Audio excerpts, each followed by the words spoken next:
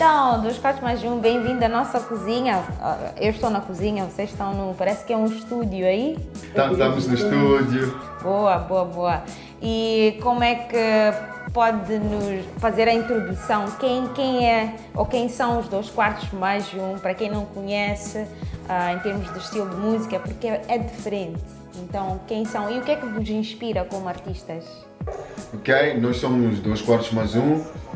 O nome parte do princípio 2, é, é de dois fundadores da banda, que somos nós os dois, e que estão sobre quatro instrumentistas, geralmente. E o mais um é uma abertura que nós temos para qualquer outro ritmo, para além do hip hop e para além daquilo que nós fazemos, que é o experimental e alternativo. Então, nós tocamos tudo com base hip hop, mas fazemos algo mais. Então, esse mais um significa esse algo mais. O que nos inspira é a vida cotidiana e a própria arte em si. Porque nós, ok, crescemos no meio que vemos a música convencional, vemos a arte convencional. Nós podemos nos intitular de Picassos da, da música. Queremos fazer algo diferente. então é isso que nos Yeah. inspira. Disseste que é convencional, né? Que agora estão a fazer mais experimental, mais alternativo. E, Sim, sim. e- mas já estão na música há muito tempo. Desde, desde os anos 90, né?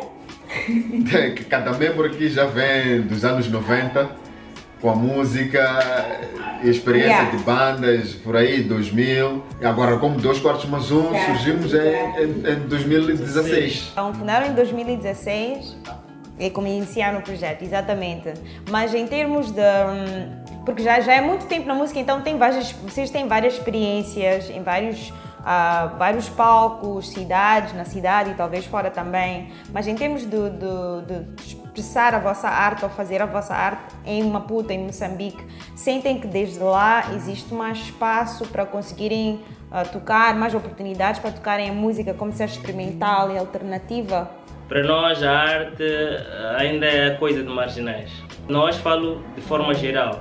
Não é fácil para qualquer que seja o estilo de música, para qualquer artista, de forma generalizada. Agora, Yeah. para nós, como dois quartos mais um, eh, também não vivemos numa ilha, também temos várias dificuldades, mas por, esse, por essa abertura nossa de, do experimental e que deixa a pessoa sempre com vontade de querer perceber o que é isso, de algum modo acaba, acaba ajudando-nos ou acaba abrindo algumas portas. De forma geral, yeah, vamos batalhando, não é fácil para ninguém e nós vamos procurando trilhar ou fazer o nosso caminho para poder chegar até lá. Acho que estamos num bom caminho.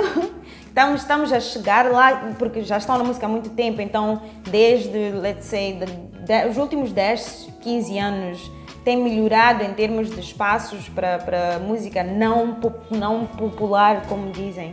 Eu acredito que sim. Se tu fores reparar, eh, em 10 anos para cá, os que mais enchem as casas de pasto são jovens.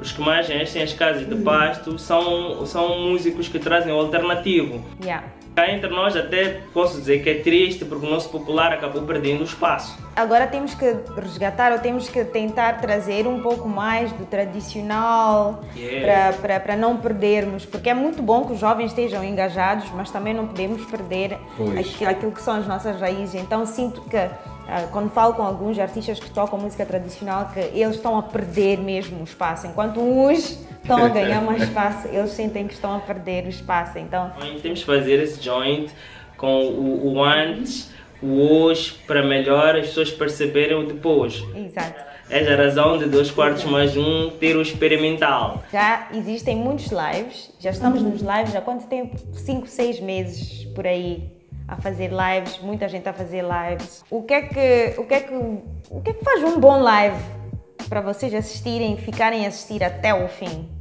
Geralmente, o que, o, o que chama a atenção logo a primeira é o cenário. Tem que ser algo muito criativo.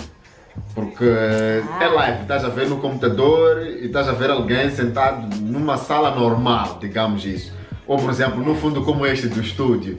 É claro que a primeira impressão, antes de ouvir a coisa, tu, ah, isso deve ser um debatezinho ou qualquer coisa.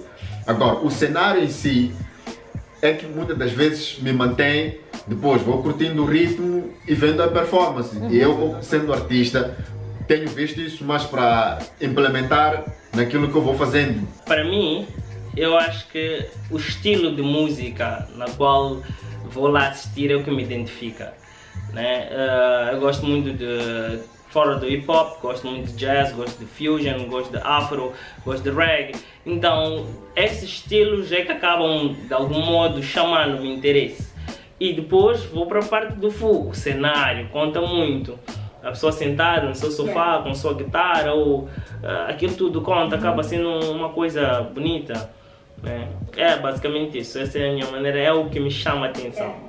Como é que vocês têm passado estes momentos de isolamento, eu sempre digo que eu, tô, ainda estou, já estou, já estou neste bloqueio há muito tempo, mas eu, em termos de criar, estou a ter muita dificuldade em criar, não sei porquê. Uh, eu acho que nesse, nesse, nesse ponto somos gêmeos. Eu estou com um bloqueio autêntico. Uh, começo até a escrever, posso fazer 16 ou mais, depois fico num blackout, uh, depois busco, aparece uma outra ideia, começo a uma outra coisa, fico num blackout e sigo para uma outra coisa, assim sucessivamente. Eu tenho, eu tenho trechos de acho que cinco músicas, das quais gosto de repetir todos os dias, mas não consigo passar dali. Terminar. Yeah. Não sei porquê, acho que a Covid afetou até a minha criatividade. Para mim a experiência está uh, a ser uma lição muito, muito, muito boa, porque tenho muito tempo. então eu como produtor e performer, então eu vou, vou, vou aprendendo outros estilos que estão fora daquilo que eu cogitava.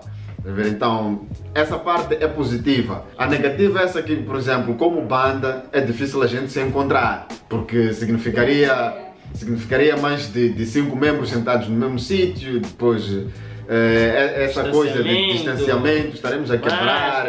E outra coisa, a promoção da banda como banda fica meio para baixo, porque ok, banda, Cream e Full, que banda? Espera-se ver um baterista. O, então, o quarto, a base, nesse caso. A, a base, então, yeah. essa parte, eu posso dizer que esta experiência está a ser boa e má ao mesmo tempo. Mas mesmo assim conseguiram e estão a conseguir preparar um bom live, um bom concerto para o pessoal.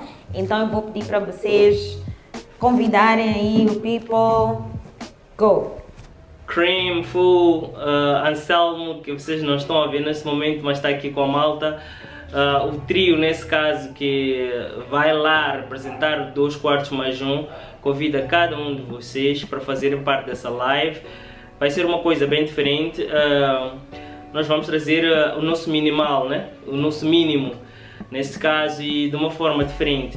Nós queremos ser da BO, que é nossa, vai ser a nossa última música no live intitulada BO. Nós queremos ser da BO e nossa BO nesse caso é a Covid, é aquilo que nós estamos a viver, nós estamos cansados de estar confinados, estamos cansados deste novo normal, nós queremos o nosso anterior normal. Então, vamos lá juntos, ficar uh, unidos através da tela, uh, fazer a festa, relaxar, porque nós precisamos, precisamos desanuviar, precisamos de yeah, buscar um pouco mais de ideia, ouvir uma coisa diferente, para que dia seguinte, como é meio de semana, vais trabalhar cheio de energia, inspirado e com força para quebrar essa Covid e dizer que todos juntos nós somos fortes.